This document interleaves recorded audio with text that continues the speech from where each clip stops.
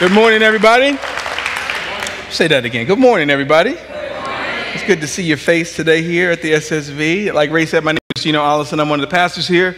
And as always, I want to welcome you to the South Suburban Vineyard Church. Special welcome to those who might be visiting, visiting us for the very first time uh, today. So glad to see brand new faces in the house. And as always, we want to welcome those of you who are watching us virtually, whether you're watching us live right now or on demand later. We thank you for being a part of our virtual audience. And as always, you're welcome to come and visit with us in person. Well, I don't know if it's officially summer yet, but summer is it? Oh, summer is among us. The, the heat is telling us that it's summertime.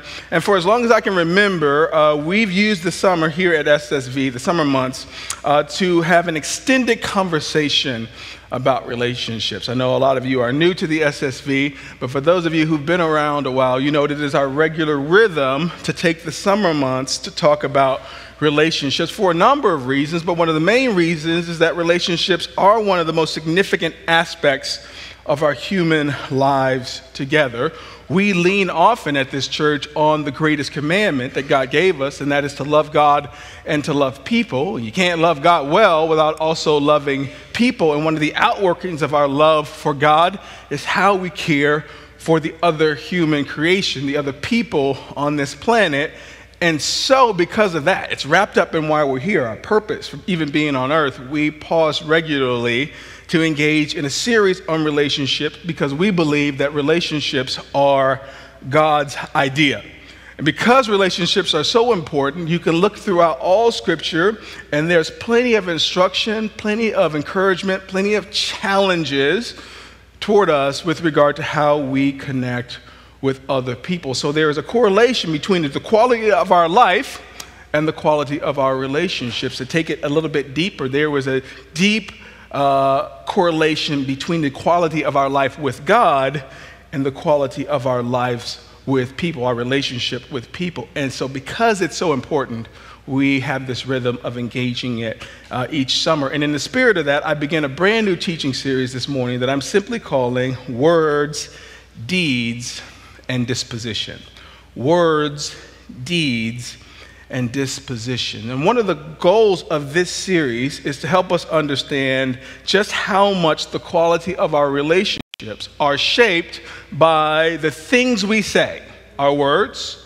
The quality of our relationships are shaped by the things we do, our deeds or our actions.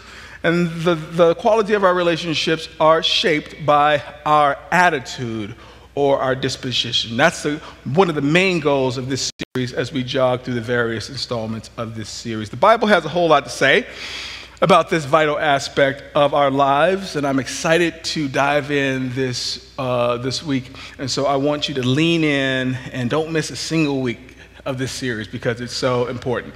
And so, this conversation, as you can guess, is layered, is multifaceted, it's deep, it's wide. And so, as I was trying to figure out where we should start, I thought a good starting point for a conversation this important, this deep and layered, is that we would first start by talking about our attitude.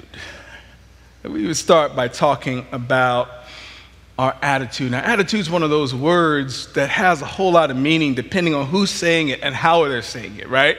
My mom used to say, well, What you got an attitude for? And what she meant to say was, Why is your attitude so bad? Like, if somebody says you have an attitude, the implication is you have a bad attitude, but we all have an attitude, right? And our attitude is our manner, our disposition, our feeling, particularly with regard to a person or a thing or a situation. Our attitude is our tendency or our orientation, especially our orientation of the mind and emotions. Our attitude is a person's outlook and approach to life, including their inner thoughts that often lead to what? Outward expressions, right?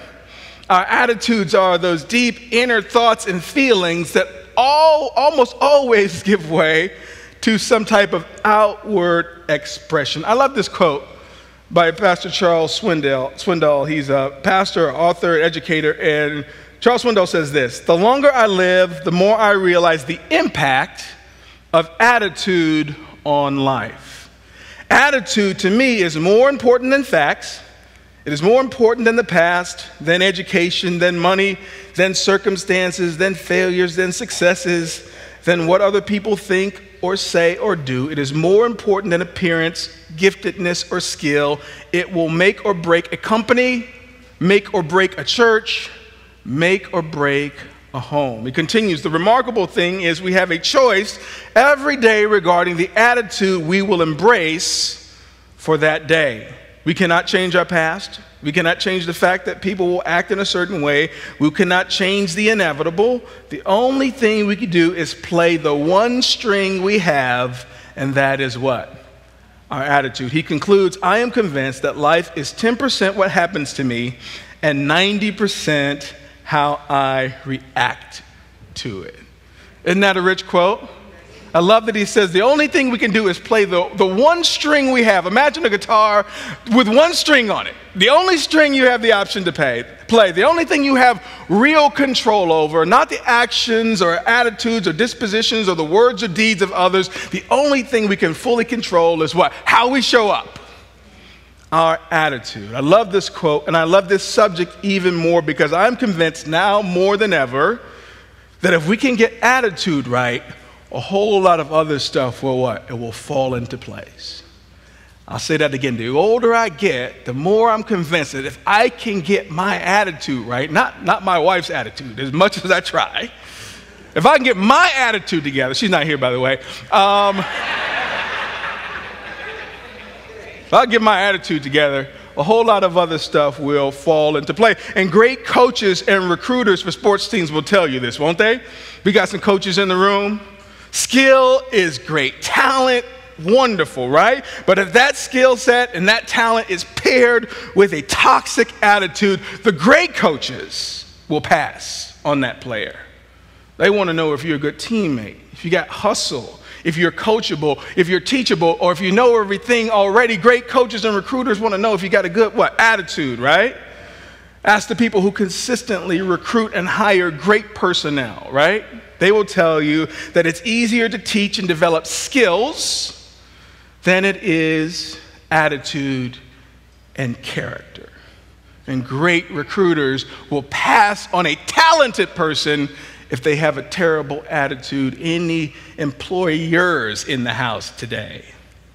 Those with successful dating histories will tell you And when I say successfully, successful dating histories, I'm not talking about somebody who is currently with somebody, because those with successful dating histories know that I would rather be by myself. That's success than to be with somebody who has a bad what attitude, immature, selfish, self-centered, self-important. I'd rather be by myself than to be coupled with somebody with bad attitude looks are great, resources are good, good job, that's excellent. But what about that attitude, though? What about your guts? What about your inside? And those who have ignored that in their dating relationships have done so and regretted it. Those who have done so have done so at their own expense. I'm talking about attitude. Good parents know this too. Sure, a lot of our waking time and hours of energy is spent dealing with behaviors Stop that. Don't do that. Keep your hands to yourself. Um, we're managing behaviors a lot of the time, but if we are wise, we are trying to disciple character, heart, the insides, the guts, the attitudes. I'm, I got four kids. I'm parenting attitudes every. I got two teenagers now. It's attitudes all day long. And I asked their permission to talk about this this morning, right? Look, the, the dad speeches, you know what I mean when I say dad speeches? They're getting longer and deeper right now, you know? Because the older my kids get, the more their character is being formed, the more it's my job and it's my duty to help develop who they are and who they're becoming and tending to behaviors don't do the trick, not at this age, not at this stage. Oftentimes, I'm dealing with attitudes. So when I say, hey man, somebody come in here and take this garbage out, and they got to pause the game, and I hear stomping feet and huffing and puffing, there's something within inside of me that just runs in there and says, hey man, we got, we got a problem in here? Man, when I tell you do something, I don't want to hear that stomping and slamming things, man. I need the garbage out, right? So I could walk out of the room, but I've just dealt with the behavior. I didn't tend to the attitude. So I got to go back and I say, hey, man, everything you're wearing, somebody bought for you. Every place you went this week, somebody took you. The garbage is full because the stuff you ate that you didn't buy is in there. And your mother go to work every day, even when we don't feel like it. We got a few side hustles just to make your life comfortable. Your job to do well in school and to do your chores around here. This is how you contribute to this family. So, man, when I tell you to take out the garbage, man, I don't want you stumping. I don't want you huffing and puffing. This is your job. This is how you play on Team Allison here. Man, am I, am I, am I, am I understanding? We have an understanding.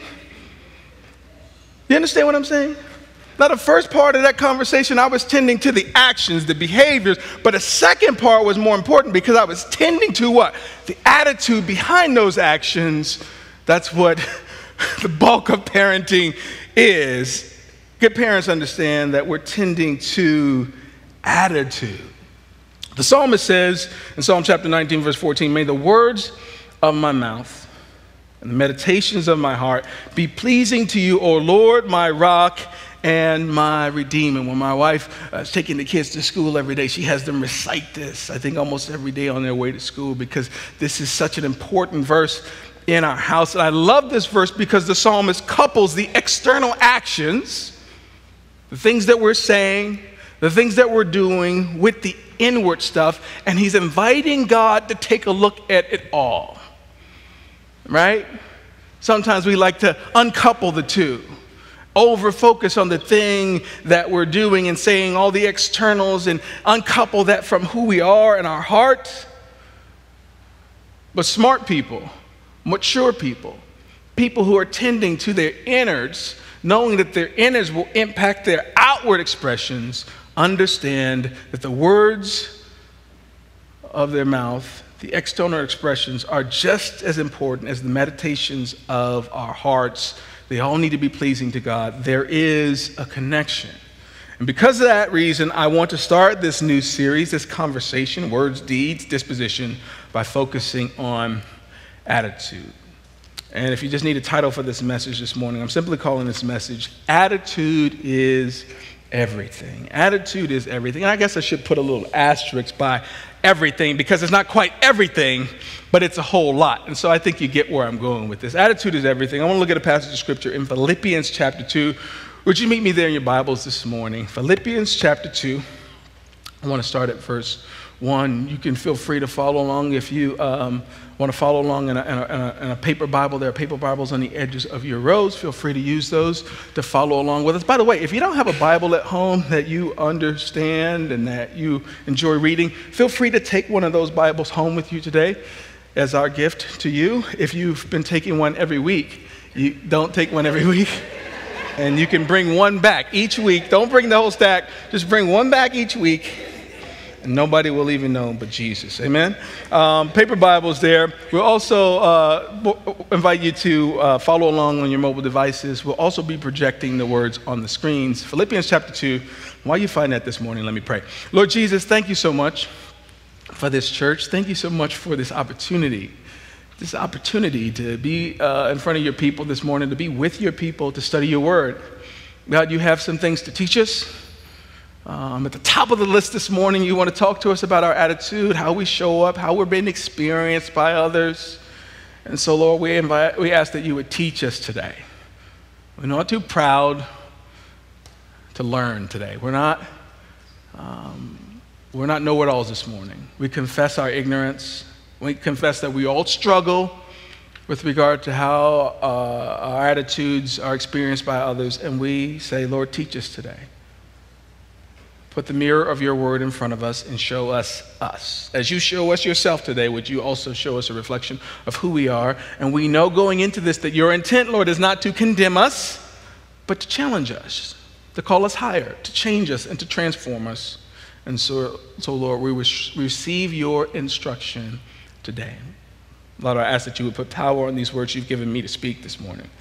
You move the preacher out of the way this morning so that your truth and your light might shine through? And Lord, if we've asked you for too little this morning, We pray that you would surprise us with your goodness. In Jesus' name we pray. All God's people said, Amen. And so, Philippians chapter 2, I'm going to start reading at verse 1. This is the Apostle Paul writing here. He says, Is there any encouragement from belonging to Christ? Any comfort from his love? Any fellowship together in the Spirit? Are your hearts tender and compassionate?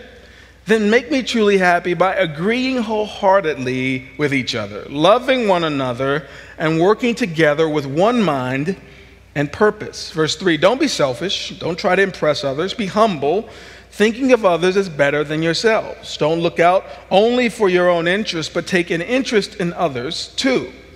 You must have the same attitude, there's our word, the same attitude that Christ Jesus had. Though he was God, he did not think of equality with God as something to cling to.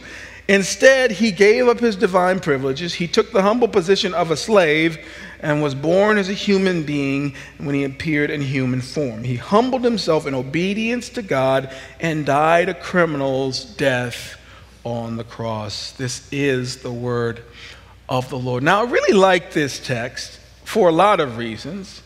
One of the main reasons I like this text is because it's so applicable to almost all of our life together in the context of Christian community, but especially in the context of our interpersonal relationship. Let me give you a little context about who's writing this and why. The Apostle Paul is writing this letter to the church at Philippi. Interestingly enough, Paul is writing this letter while he sits in a Roman prison. He has a deep affection for the church at Philippi. They've supported him and been generous to him while he's been in prison. And so he has a deep affection for this particular church. And the primary goal of this letter is to encourage the Philippians to continue on as kingdom people despite the obstacles and to keep growing in their commitment to serve God and serve one another. I'll say that last part again. He wants them to keep growing in their commitment to serving God and serving one another. And so Paul starts off this chapter that we read today with a series of rhetorical questions. He's not looking for an answer because he already knows the answer to the questions. He asks them, Is there any encouragement from belonging to Christ? Are you encouraged because of your connection to Christ? Any comfort from his love? You get any comfort out of being in community and in fellowship with the living God? Any fellowship together in the Spirit? Are your hearts tender and compassionate? Like He's not waiting for months for them to answer yes or no. Like He knows they get a whole lot out of being in community and in connection with Christ. And so He says, since you get a whole lot out of this, right? Paul says, do me a favor. Verse 2, he says, Make me truly happy by agreeing wholeheartedly with each other, loving one another, and working together with one mind and one purpose. Paul is saying, if you get anything out of being in Christ and you get a lot out of it, I need you to respond to God's goodness in this way. Because so much of how we respond to God's goodness toward us centers on how well we relate to the other humans. And some of us need to hear that again because we're down on our knees praying to God all day long, but we're rude to one another indifferent about the people who are image bear, bearers, made in the image of God, of much worth and value. And I'll say it again that so much of how we're supposed to respond to God excuse me, centers on how well we relate to the other humans. So, in response to all that God has given us, all that we get out of being in Christ, Paul said, love one another. And somebody said, okay, I can start there. Work together, Paul says. He said, okay, I can do that. Be of one mind and one purpose. Uh, that sounds a little hard, but I think I can do it. But then Paul says, agree wholeheartedly with one another, and that's where we hit the brakes. Because we're very different people from different sides of the tracks, and we say, Paul, you can't be asking us to agree with one another about everything. That can't be right. Well, make no mistake, Paul isn't asking us to agree with one another about everything. You can breathe, right? You can re engage. But Paul is talking about unity in the faith. And so Paul is insisting that we minimally agree about the main things. The main things. The main things like Christ and Him crucified, Christ and Him resurrected and reigning. We got to agree about that. Paul is saying we have to agree about our call to continue Christ's ministry to the lost and the least through the power of the Spirit. There's no wiggle room. We got to agree about that, right?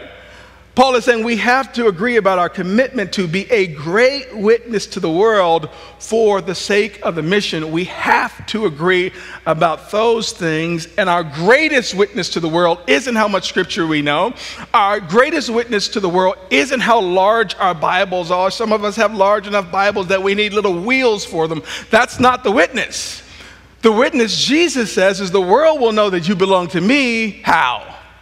By how you love one another how you prefer one another,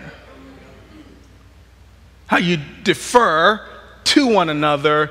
That is our witness to the world. We have to agree on those main things. And I believe that Paul is suggesting that if we can agree on the main things, all the other stuff we can work out. Which is good to hear as we march toward uh, a very interesting presidential election. Uh, it's interesting to hear as we sit in the midst of a unique cultural moment where you can't slice the demographic pie into any more slices. We've never been more divided. If we can agree on the main things, church, as diverse as we are, the rest of the stuff, we can work it out. We can work it out. And so, Paul, in this spirit, urges his church toward love. He coaches us toward disposition, having the right posture, our, a great orientation toward other people. And he continues in Philippians chapter 2, verse 3 and 4 by saying, Don't be selfish. Don't try to impress others. Be humble, thinking of others as better than yourselves. Don't look out only for your own interest, but take an interest in others too. Anybody convicted yet? Anybody got an A on the test quite yet? My suspicion is that we're all in the same boat. We've all got work to do.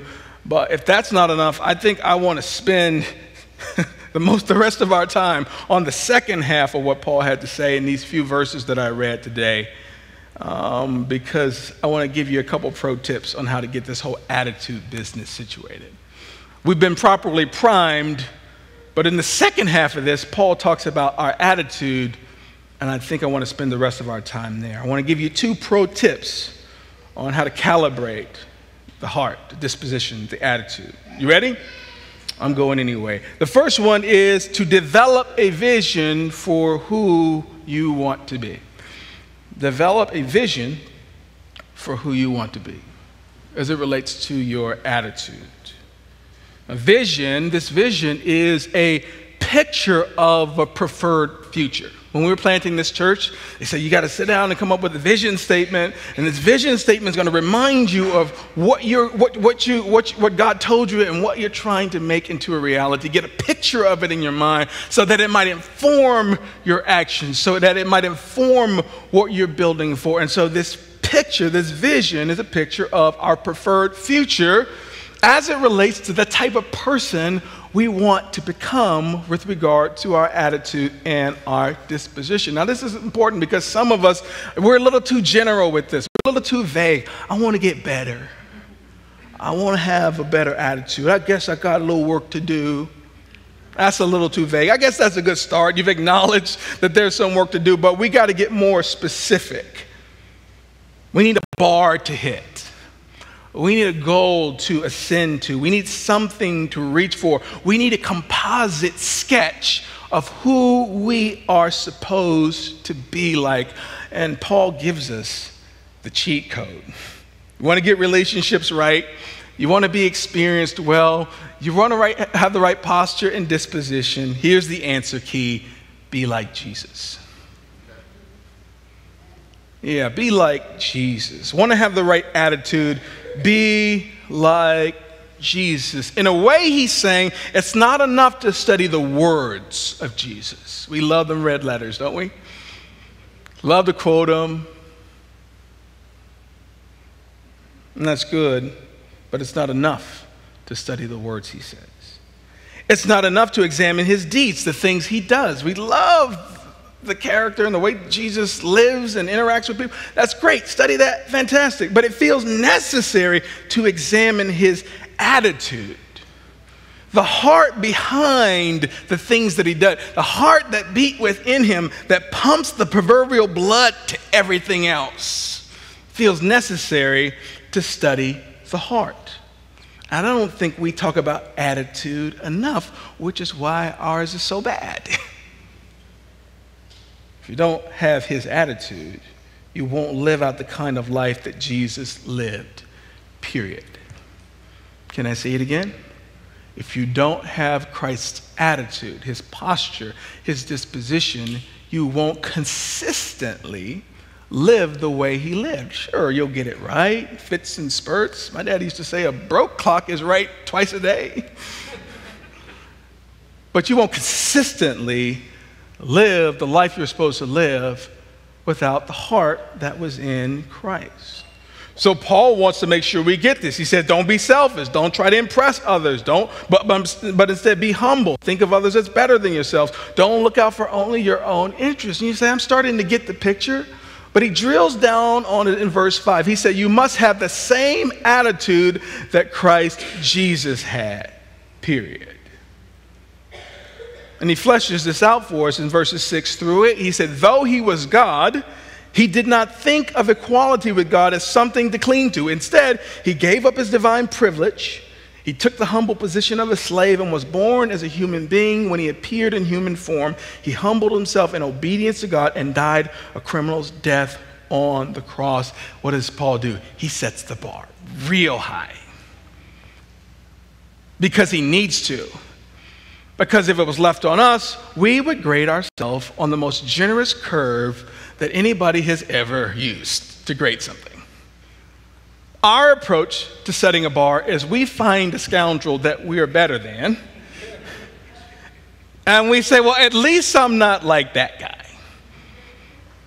At least I'm not like David. I'm just picking on you, Pastor David, because we go way back. You find somebody that you're beating and you say, well, at least I'm not as bad as them. I could do worse. And Paul knows that that doesn't get us to the good life. That doesn't help us to be the witness that we're supposed to be a witness, the attractive, winsome fragrance of Christ. Paul, Paul knows that that doesn't get us there, just finding somebody that you're slightly better than. And so he comes out swinging and he sets the bar high. He says, The bar is Jesus.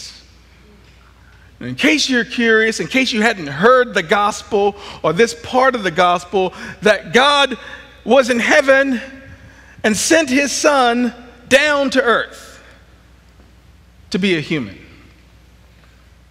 so that he might die for us and take on the price and penalty of all our sin and die on the cross. But before he would get to die on the cross, he would have to put up with the other humans, right? He was in heaven one moment, and in an instant, he's on earth. What a downgrade. And though he could lay hold and lay hold to all the privileges of being God, all the power and perks of being God, when he came down on mission, he decided not to so that he might fulfill his purpose. That he might purchase our salvation through his blood and his suffering for us. This is the good news. This is our inheritance. This is what we receive, but this is what Christ has done. And so, lacking any measure of self importance, not demanding his own way, not pulling the guard, trump card. He humbles himself to obedience, even unto death. Paul says, that's the attitude you should have. Now, instantly, the big red marker comes out and gives us an F on the paper because we don't currently measure up to that. I know I don't. Paul said, This is the bar. This is the attitude you should have. When you get a picture in your mind of the preferred future for your life and for your attitude and how you're supposed to show up in the world and be experienced, don't think of the nicest person you know. Think about Jesus as the gold standard. As much as it pains me to say it, as much as work that it's going to take for me to ascend to this bar, I must say, I want to be like Jesus. I want to be like Jesus. Anybody in your heart of hearts say, man, I know that's a tall order, but I want to be like Jesus. I realize in, that, in this moment that Jesus is the bar. Now, if you're leaning in this direction, I want to warn you that this kind of proactivity requires a great deal of vulnerability, a great deal of honesty, and a great deal of self awareness because it demands that we reckon with who we presently are, our current state, our current attitude and disposition. And some of us don't even want to think about it because we know, we know we're not who we're supposed to be. You know, you were cutting up just this morning on the way over here. You had a bad attitude. You got a bad attitude right now. And if you don't believe me, ask the person you came with. They'll tell you about your attitude. But if you're gonna if you're gonna dabble in this, if you're gonna if you're gonna engage the bar that is Jesus, it requires us for us to do some some some work on assessing who and where we are right now. Because we like to grade ourselves in the moments where things are going well. In a moment where everybody's nice to you. Well, they fill your fries up at, you know, Chick-fil-A and, and they, the, the barista gets your order right. Like, you want to measure yourself there. Like, when you're sleeping, you want to measure your attitude at that moment. But I think we're tasked this morning with asking ourselves, who are we and how do we show up and what's our disposition in our worst moments? Who, who am I in my worst moments? Let me put it to you this way I, I like to think of myself as generally cool, generally calm, uh, generally co- uh, collected, right? Uh, uh kind of unflappable, generally speaking. And I'm usually even, I'm usually calm, I'm usually collected. I'm usually comfortable unless a, a cicada lands on me.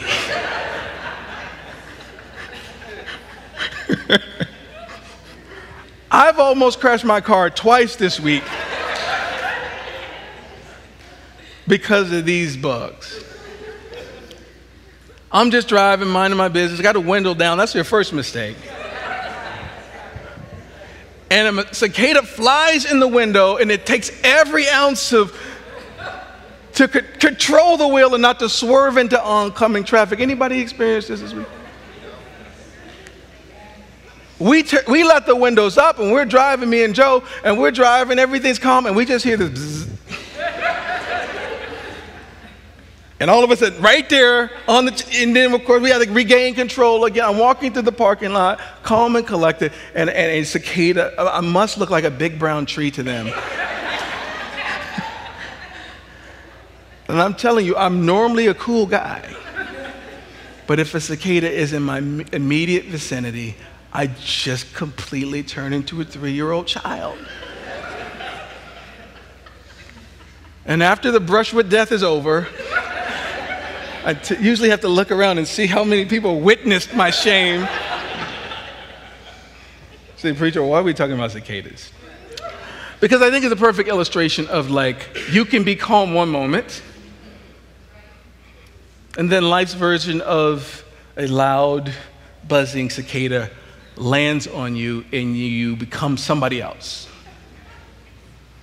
And all that calmness and all that Holy Ghost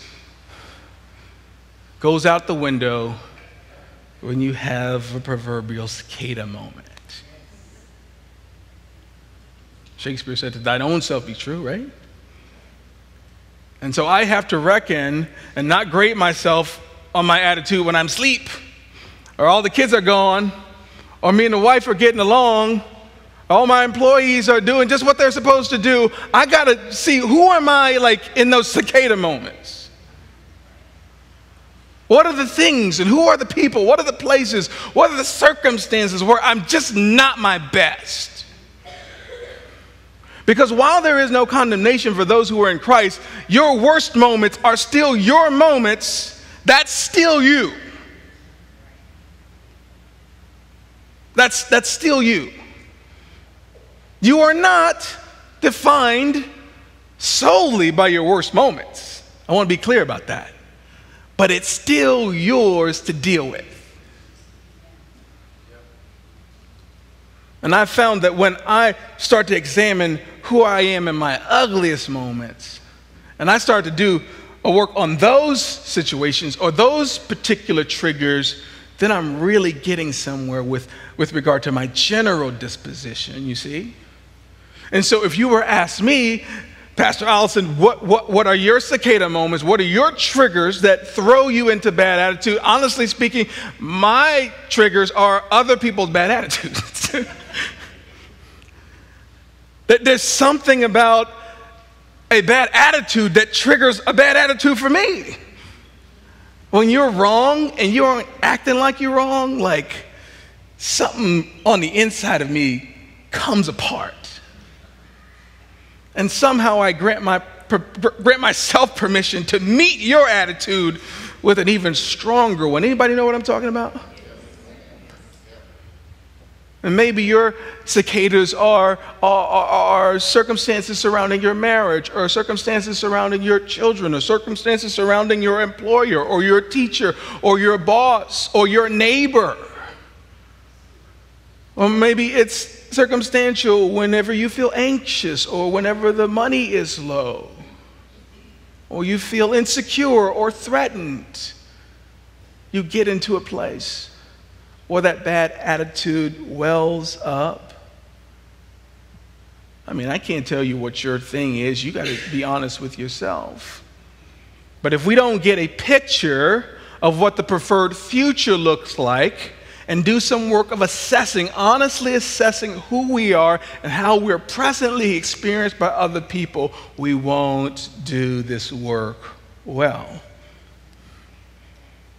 And so, maybe some homework for you in this particular realm is ask the people you live with how they experience you, how you show up, or ask them what your triggers are, right? Because they'll tell you. Because every time we get to talking about money, we meet a different version of you.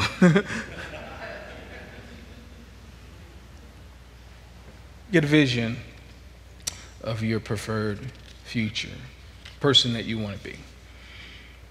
Second thing, second pro tip is to let the Holy Spirit guide your life. Now, this is super important. Doesn't directly flow from the text, but if Christ is our example, if He is the bar, then the Spirit within us will help us live the life that Jesus lived. The indwelling spirit that Jesus promised when he went away. You remember he said it to his disciples Listen, I know you're sad that I'm going away, but you need me to go away. You should want me to go away because when I go, I'm going to leave with you what? The Holy Spirit. I'm going to leave with you a helper, the indwelling power and presence of the Spirit that will testify to truth, that will convict you of sin, that will whisper in your ear and calibrate your heart and calm you down when you need to be calmed down, get you right when you need to get, be get right. You said, You need me to go because I will leave with you the helper, the Spirit. And so in Galatians 5, Paul gives us a mini intensive on what it means to let the Spirit guide our lives. Galatians chapter 5, verse 16, Paul says, So I say, let the Holy Spirit guide your lives. Then you won't be doing what your sinful nature craves. The sinful nature uh, wants to do evil, which is just the opposite of what the Spirit wants. And the Spirit gives us desires that are opposite of what the sinful nature desires. These two forces are constantly fighting each other, so you are not free to carry out your good intentions. This is really, really helpful for us today. Paul is letting us know that you don't have a bad attitude because you're a terrible person. You're not showing up and being experienced poorly, and you're not landing awkwardly on people because you're a bad person or because you're an idiot or whatever. Paul is saying there is a real war raging on the inside of you, even right now. As you listen to me, as your soul and spirit are trying to figure out what to do with all this information, how to process this stimulus, there is a war going on on the inside of you right now. A war between what? Darkness and light. Warring right now. Darkness and light. Flesh and spirit are at battle right now. These forces are already, all, always at work. And Paul lets us know how we know which force we're yielding to. Verse 18, he says, But when you are directed by the Spirit, you are not under the obligation to the law of Moses. When you follow the desires of your sinful nature, the results are very clear. And he gives us a list sexual immorality, impurity, lustful pleasures, idolatry, sorcery, hostility, quarreling, jealousy, outbursts of anger, selfish ambition, dissension, division, envy, drunkenness, wild parties, and other sins like these. Let me tell you again, as I have before, that anyone living this sort of life will not inherit the kingdom of God. That's quite a list, isn't it? It just hit just about everybody in the room, didn't it? And I'm struck by how, how wide and how varied that list is. Deals with the ex, ex, external things we do sexual immorality, drunkenness, wild parties, outbursts of anger and quarreling, but also deals with quite a few internal things as well envy, selfish ambition, idolatry, jealousy, right? External and internal. The psalmist knows this the words of my mouth and the meditations of my heart. He couples those together because they're all a byproduct of what? This war that's going on inside us. They are, they are the fruit of what happens when we live according to our flesh rather than live according to the Spirit. When we give in to the sinful, fallen, broken nature rather than being people of the Spirit, this is what happens. It envelops our whole being, inside, then out. Corrupts us internally, and the outworking of that are these behaviors and many, many more. The good news is that the Spirit, if you live into it, the Spirit, if you yield to it, does the same thing. It coats the inside and works its way out. Verse 22 But the Holy Spirit produces this kind of fruit in our lives love, joy, peace, patience, kindness, goodness, faithfulness, gentleness, and self control. There is no law against these things. Those who belong to Christ have nailed the passions and desires of the sinful nature to his cross and crucified them there. What a list. This sure gives us a lot to think about, doesn't it? Especially as it relates to our attitude, our disposition, and how we're showing up, how we're being experienced by others. This helps us to focus less on our behaviors and reactions to all the triggers and focus more on what? The inner life. Life in the Spirit noting that the presence of a bad attitude and poor responses to all the triggers typically signal an absence of the fruit of the indwelling spirit of God in my life and in your life. I'll say that again. We note that the presence of a bad attitude and poor responses to all the triggers of life typically signal the absence of the fruit of the indwelling Spirit of God in my life.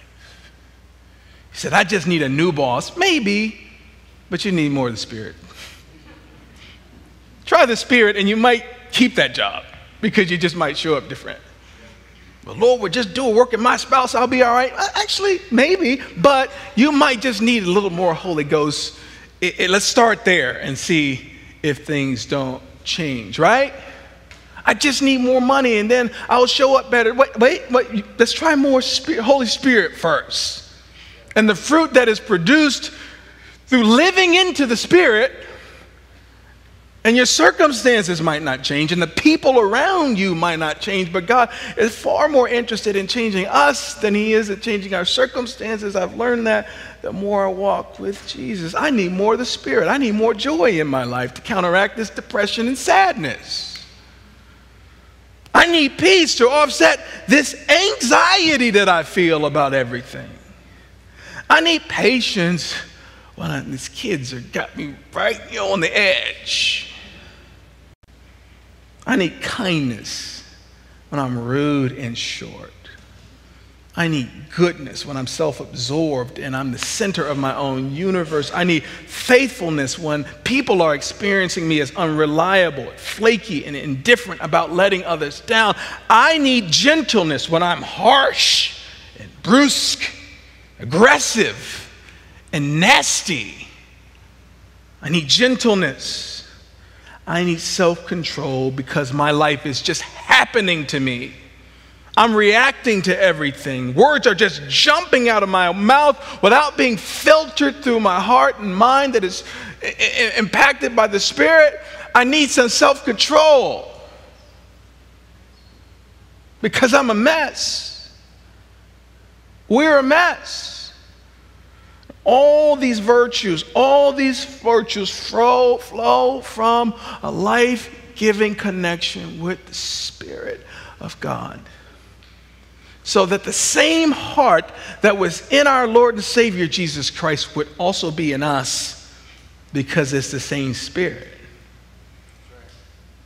The same Spirit. And the same power that rose Jesus from the, the grave is living in us. Not so that we can just speak in tongues and run around the church and get sweaty. We get sweaty in here. You can speak in tongues in here. You can do all that. But like the Spirit wants you to be nice to people and show up to work on time and give your boss an honest day's work and put your cart back at the grocery store like the Spirit.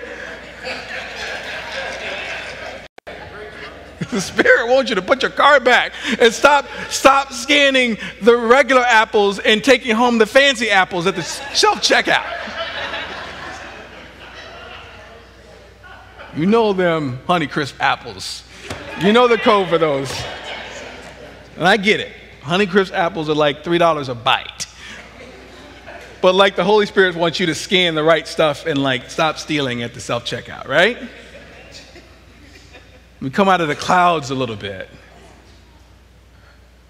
The Spirit will help you show up well and apologize when you're wrong to your children and show them what it looks like to be a whole person.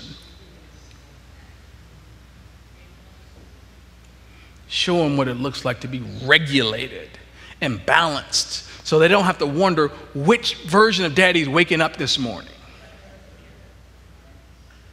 Which version of my spouse is coming home from work? Which version of Pastor Gino am I going to get this Sunday? And what the Spirit will do is regulate you so that you are a whole person. Not perfect, but if Jesus is the bar, the power of the Spirit will help us reach that bar. And we will never, ever attain it on this side of heaven, but we will never be done working, never be done stretching never be done pressing toward that mark. Who am I talking to today? Some of y'all, judging by the amen, some of us got some work to do. And that's all right. Worship team, you can come up as we put this all together. Paul is saying you want to get relationships right, have the same attitude as Christ. And his attitude's marked by what? Humility. He's wholly unentitled. Not self important, sacrificial in love, obedient to God, even unto death. And so, our job as we leave this place today is to examine honestly what are the things, what are the people, what are the places, what are the scenarios that are keeping us from having a great on attitude that honors God and blesses other people. What are they? Who are they? We got to do that work first, right? What are my triggers? What are those cicadas that land on me and cause me to lose my mind? We got to do that work. And then we got to start asking if Jesus is the bar, if I'm supposed to be like Jesus, if that's the person I'm supposed to be, then situationally, especially in those moments where I'm prone to miss it, where I have a history of showing up as differently than I want to show up, you might ask yourself, how would the person I want to be respond to this situation? Here we are in this meeting, and Sheila has taken credit for my work again. How would the person I want to be handle this? We can say, well, what would Jesus do? But that's a little too, like, if, if I'm striving to be like Jesus, and Jesus helps me to form the preferred future for my life, who I want to be, how would that person respond in this particular moment? How would the person who I want to be respond in this moment? You, you can't do that unless you slow down a little bit. You know? I had a friend named Scott, and Scott talked real slow. And one day we were talking, and Scott said, I talk real slow because before I came to Jesus, I, I used to curse a lot. He said, I realized if I didn't talk slower, certain words would just tumble out. And so now I talk slow. And I wonder uh, how much of this real work would just require us to slow down and think and say, as my mom would often say, Help me, Holy Ghost. You heard my mama say, Help me, Holy Ghost. That means somebody was right, you got this close to just losing it. She said, Help me, Holy Ghost. And I wonder if this week you would say, Help me, Holy Ghost to respond the way I'm supposed to respond, to show up the way I'm supposed to show up, to not let these triggers win, to be guided and led, anchored by the indwelling Spirit. Come, Holy Spirit.